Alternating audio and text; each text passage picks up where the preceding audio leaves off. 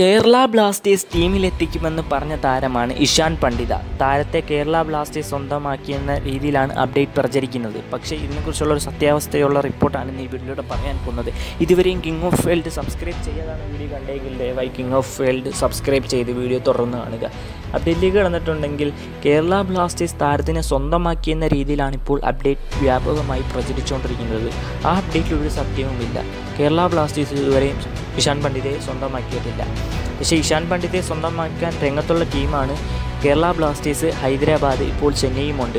ചെന്നൈയിലേക്ക് പോകാൻ ഒരു ശതമാനം പോലും ചാൻസ് ഇല്ലാത്ത കാര്യമാണ്. പിന്നെ ഹൈദരാബാദോ കേരള ബ്ലാസ്റ്റേഴ്സിലേക്കുമാണ് ഇഷാൻ പണ്ഡിത പോകാൻ ഏറ്റവും കൂടുതൽ ചാൻസ് ചെന്നൈയിലേക്ക് പോകത്തില്ലെന്ന് പറഞ്ഞ കാര്യം എന്താണെന്ന് വെച്ച് കഴിഞ്ഞാൽ ജംഷഡ്പൂരിലെ മുൻ കോച്ചായിരുന്നു ഓവൻ ഗോയിൽ. ഓവൻ ഗോയിലിന് ഇഷാൻ പണ്ഡിതയ്ക്ക് അവിടെ കളിക്കാൻ ടൈം കൊടുക്കാമെന്ന് പറഞ്ഞിട്ട് വലിയ ടൈമൊന്നും കൊടുക്കാത്തതുകൊണ്ട് ഇഷാൻ പണ്ഡിത ചെന്നൈയിലേക്ക് പോകാൻ ഒരു ചാൻസും ഇല്ലാത്ത കാര്യമാണ്. പിന്നെ ഹൈദരാബാദിലേക്കോ ജംഷഡ്പൂർ ഹൈദരാബാദിലേക്കോ കേരള ബ്ലാസ്റ്റേഴ്സിലേക്കോ ആണ് പോകാൻ ഏറ്റവും കൂടുതൽ ചാൻസ്. ഇതിനെക്കുറിച്ചുള്ള ഒരു വ്യക്തമായ റിപ്പോർട്ടുകൾ കിട്ടുമ്പോൾ വീഡിയോ ആയിരിക്കാൻ ഈ ചാനൽ മറക്കാതെ സബ്സ്ക്രൈബ് ചെയ്യുക. അതിനോടൊപ്പം വരുന്ന ബെല്ലൈക്കൺ കൂടി എനേബിൾ ചെയ്യുക. അടുത്തൊരു പുതുപുത്തൻ ഫുട്ബോൾ അപ്ഡേറ്റുമായി കാണുന്നവരെ thanks for watching of world